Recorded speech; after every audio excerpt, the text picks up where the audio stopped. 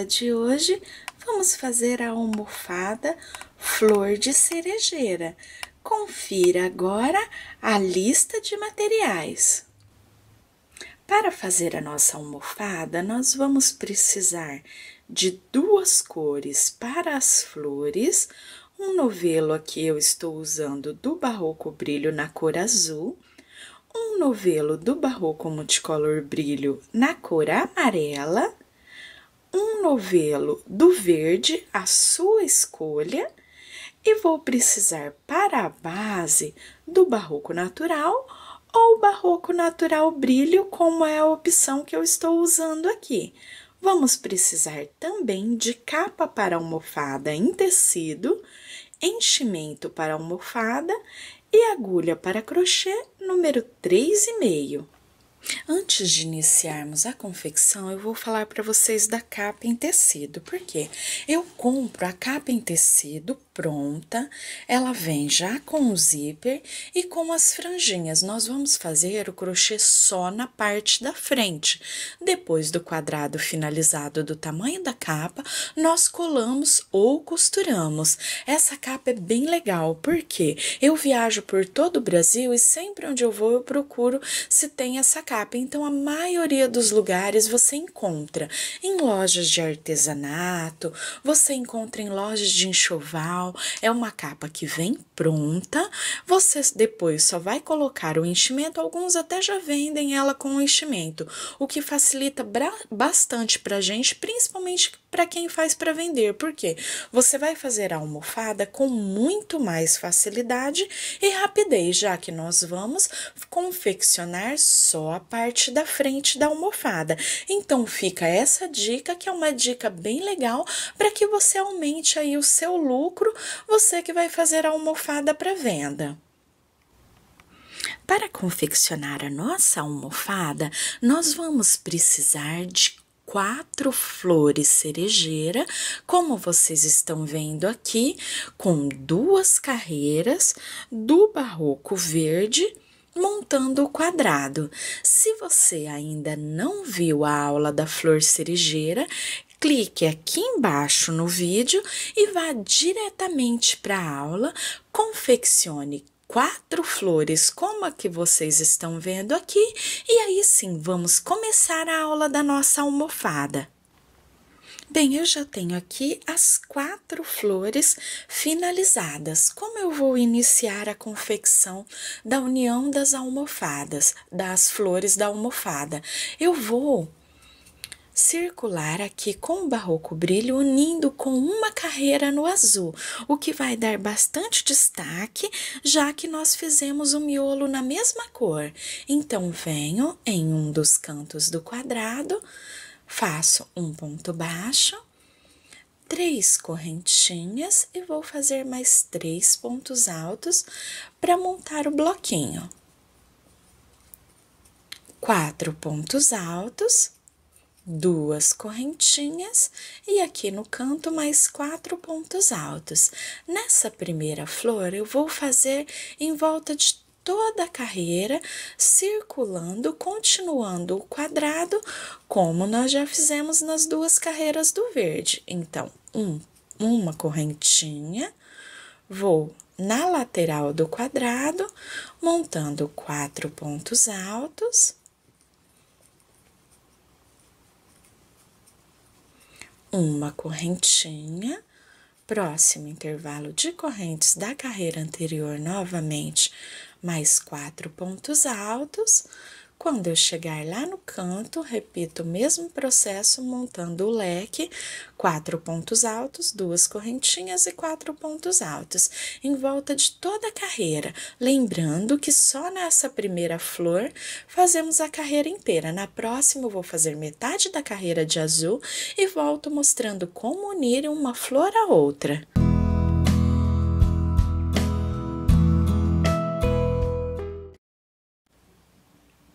Finalizei a carreira do azul em volta da minha flor. E na segunda flor, ó, já deixo a primeira aqui com o avesso virado de frente para mim. E venho com a segunda. Observem que eu fiz duas laterais do quadrado e parei aqui bem no primeiro bloquinho do canto. Então, vamos deixar as flores, uma bem certinha com a outra, avesso com avesso. Venho aqui no canto, fiz o primeiro bloquinho e já vou diretamente lá no bloco de trás, no intervalo de correntes, sem fazer correntinha. Volto na parte da frente, também sem fazer correntinha, e vou fazer os meus quatro pontos altos. Já começamos a unir um quadrado ao outro das flores. Fiz os quatro pontos altos sem fazer correntinhas, volto no quadrado que está atrás e prendo com um ponto baixo. Volto no quadrado que está na frente e faço os quatro pontos altos. E assim vamos unindo até chegar no canto, onde eu vou mostrar para vocês também como virar já o quadrado, finalizando a carreira. Cheguei aqui no canto, então vou lá no bloquinho e prendo com um ponto baixo. Agora, vou trabalhar uma corrente e completar essa lateral até finalizar a carreirinha, ó. Quatro pontos altos, faço uma correntinha, mais quatro pontos altos no próximo intervalo de correntes, e assim sigo trabalhando até finalizar essa carreirinha. Arremato meu fio e já vou ficar, então, com os dois primeiros quadrados unidos. Volto mostrando como vamos unir o terceiro, o posicionamento da flor, que é exatamente igual esse, e depois vamos unir juntas o quarto, porque eu quero mostrar para vocês a união dos quatro cantos nessa parte central. Aqui as duas primeiras flores que unimos, prontinhas, e já tenho aqui a terceira posicionada, onde vamos unir essa lateral. Depois, a quarta encaixa aqui nesse último espaço, formando o quadrado das quatro flores. Na quarta flor, fiz só uma lateral e tenho aqui as outras três, lado avesso e essas duas laterais que vou encaixar agora a união. Então, deixo essa viradinha aqui e já vou começar aqui pelo canto, da mesma forma que fizemos com as outras prendo lá atrás, venho quatro em quatro pontos altos, prendendo no quadrado que está atrás, no intervalo de correntes, com um ponto baixo. Vou seguir fazendo essa união até chegar aqui um bloquinho antes do canto, porque aqui, justamente, ó, já temos um, dois, três e mais o quarto que vamos unir, que eu quero prender todos juntos, e assim a gente vai finalizar o nosso quadrado para depois fazer o acabamento trabalhando com o barroco natural brilho em volta do quadrado.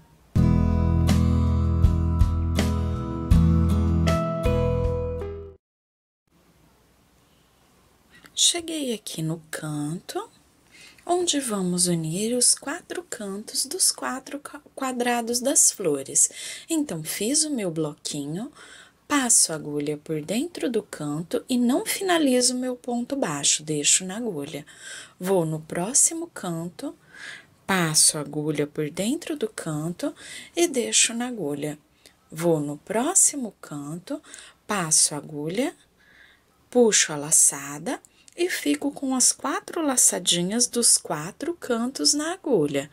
Agora sim, pego todas de uma única vez. Assim, eu faço a união dos quatro e olha como que fica fechadinho e bem certinho. Viro e vou unir a próxima lateral para finalizar o nosso quadrado das quatro flores já unidas, prontinhas para receber o acabamento. Vou finalizar aqui a união dessa lateral, volto mostrando o quadrado finalizado para vocês e depois já vamos trabalhar com o barroco natural brilho. Aqui, com o quadrado finalizado, as quatro flores já unidas, Vamos agora trabalhar circulando toda a carreira, trabalhando quatro carreiras com os bloquinhos de quatro pontos altos em volta de toda a base. Então, faço essa primeira carreira, a segunda, a terceira e a quarta carreira circulando o quadrado. Depois já vamos para a finalização, unindo a parte do crochê à almofada de tecido. Finalizei as quatro carreiras trabalhando em volta de toda a base. Agora que nós já temos a base prontinha, nós já podemos aplicar a parte do crochê na capa de tecido. Você pode aplicar de duas formas, ou costurando ou colando. Para quem tem máquina de costura e tem mais habilidade, ou tem alguém em casa que tenha máquina, que seja mais fácil o acesso, você pode costurar. Eu vou mostrar para vocês aqui colando com a cola universal, que é uma cola que seca bem rapidinho, cinco minutinhos você já tem a peça pronta para uso. Ela vem também com um biquinho dosador, o que facilita bastante a nossa aplicação. Vamos lá então para esse passo, finalizando a nossa peça. Bem, pessoal, aqui então já estou com a parte em crochê posicionada sobre a capa. Aqui eu sempre colo primeiro os cantinhos, deixo secar e depois faço o mesmo nos quatro cantos e depois eu venho aplicando um fiozinho de cola em toda a lateral até colar toda a base, todo o quadrado, alinhando bem aqui as franjinhas e deixando bem certinho. Aguardo o tempo de colagem e a nossa peça já vai ficar prontinha. Eu vou aguardar aqui, acabar de colar o resto, aguardar o tempo de secagem e volto mostrando para vocês a peça já finalizada.